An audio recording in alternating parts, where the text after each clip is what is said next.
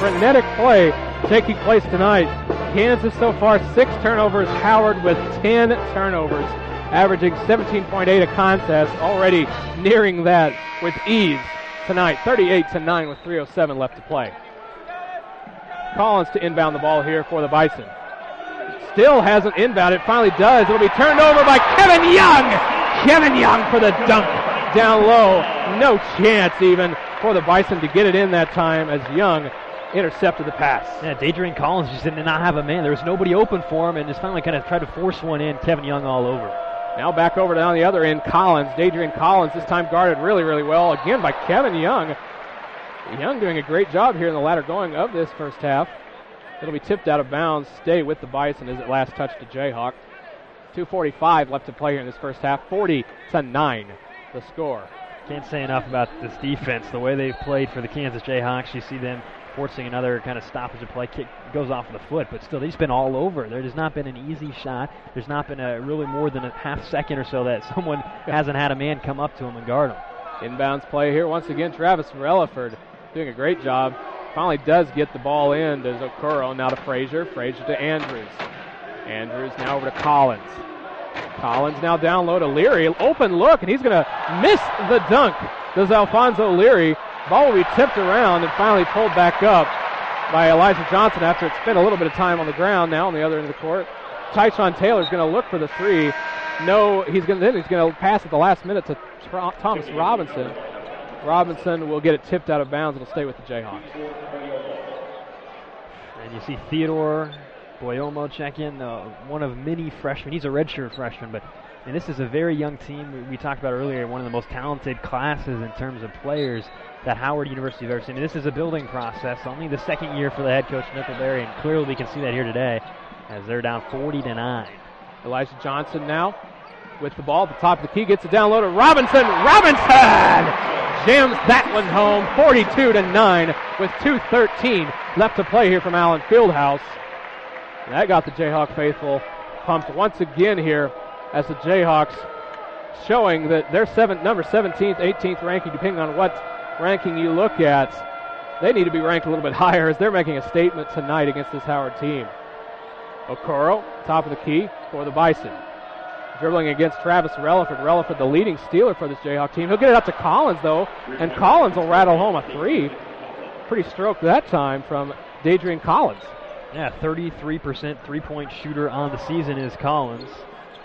And by the way, on that shot, they finally do get into double figures. 12 points now for the Bison, 42 to 12.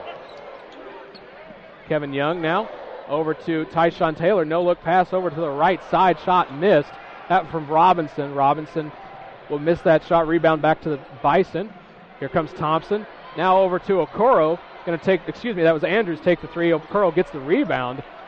Ball fought for, finally pulled up by Kevin Young, stripping the ball. Now we're going to have another turnover, I believe, as the ball was almost thrown away. But no, the Jayhawks will retain possession as Andrew, or excuse me, Calvin Thompson touched it last. Timeout called by the Kansas Jayhawks and Bill Self. Just a 30 second timeout. We'll keep it right here.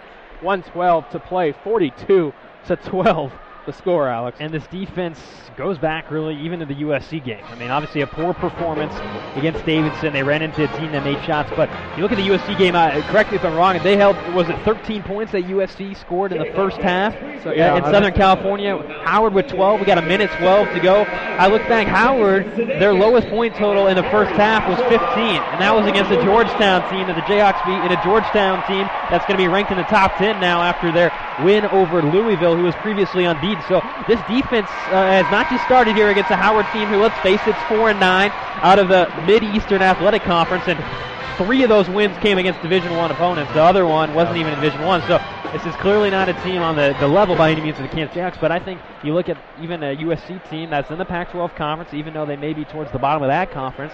The Jayhawk defense has really continued for these last couple of games. The Jayhawk defense not allowing very many shots around the rim as they're doing a great, great job here tonight as the Howard Bison just get into double figures on that last possession.